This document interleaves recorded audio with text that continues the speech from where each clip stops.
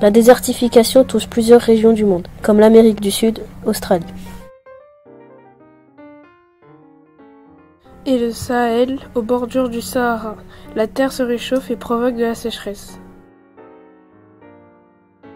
La végétation ne résiste pas au manque de pluie et à la chaleur. Ce qui permet au désert de progresser. Les habitants de ces zones sont obligés de quitter leur village et leur ville. Ce sont des réfugiés climatiques.